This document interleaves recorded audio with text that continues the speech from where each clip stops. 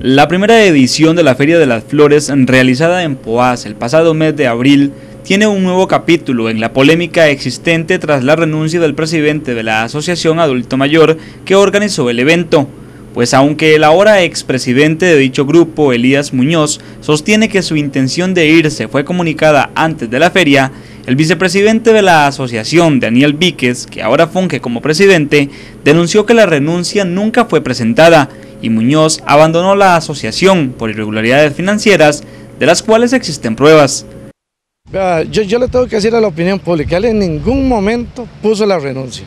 Él siempre sencillamente el jueves, perdón, el, el viernes de la feria, a ojo problemas personales y que se sentía mal de salud y eso tuvo con agarró un berrinche dejó la asociación votada, no le importó la feria, no le importó a los compañeros, lo citamos más de una vez que viniera a dar cuentas a la asociación, porque hay cosas que no están claras, él mismo las sabe, a la cual yo me refiero.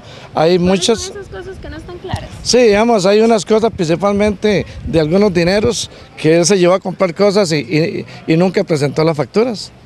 Entonces, y aparte de eso, eh, ya, aquí hubieron tantas cosas que nosotros tenemos pruebas. Digamos, yo no hablo por hablar.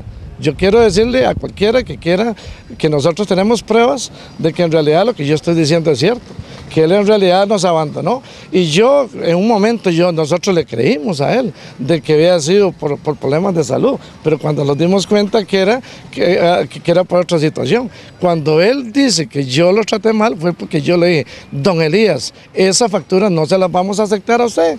¿Por qué? Porque esa factura no tiene ninguna validez. Entonces, es lo que yo le quiero decir, eh, Valeria, que en realidad hubieron tantas cosas ahí que, o sea, que uno, yo por lo menos yo no lo eh, termino de entender todavía. ¿Y por qué él no ha querido dar la cara? ¿Por qué él no ha querido presentarse ante los compañeros y a la gente del pueblo, llegar a decir por qué es que se fue? Sobre el objetivo específico de esta feria, construir un centro de atención para el adulto mayor, el actual presidente sostiene que el menaje donado por el Poder Judicial está almacenado para cuando se construya el lugar y que la feria permitió generar activos por más de 25 millones de colones que ayudarán a concretar este proyecto.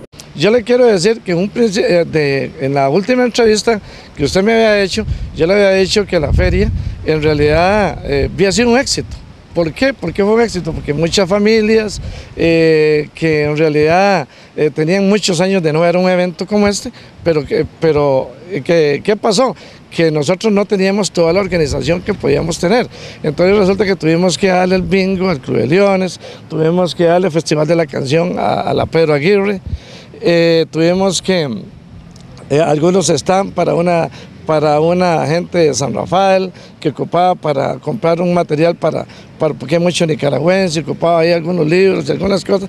Entonces, eh, la cocina, o sea, o sea, y el resultado final de nosotros fue que nosotros teníamos muchas deudas. Tenemos ahí un poco de deuda, se pagó todo y llegaron activos, en este momento tenemos, eran activos cerca de los 3 millones de colones. Y después aparte de eso nosotros tenemos activos en este momento que no teníamos antes de la feria, como las flores, como muchas cosas que se compraron, telas y tantas cosas que lucieron en la feria, eso lo tenemos en activo que nosotros en este momento superan los 25 millones de colones en activos. ¿Se puede decir que no quedó nada sobrando?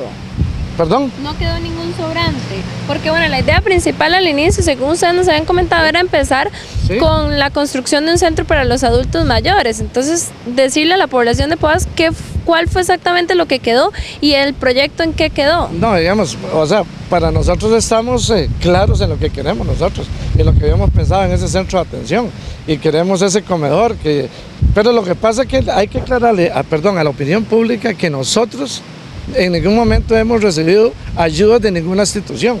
Lo que nosotros hemos recibido en poquitos es en especies. Precisamente una de esas ayudas que nos comentaban Elidas nos comentó sobre un homenaje que recibieron. ¿Qué pasó con eso? No, eso, eso nosotros lo tenemos en protección. O sea, nosotros, porque él abandona la asociación, entonces eso quedaba al garete. La Asociación Adulto Mayor Grupo Poás perdió a varios de sus miembros tras esta polémica. Sin embargo, quienes todavía se mantienen en el grupo aseguran ir por un buen camino en la búsqueda de este ansiado proyecto.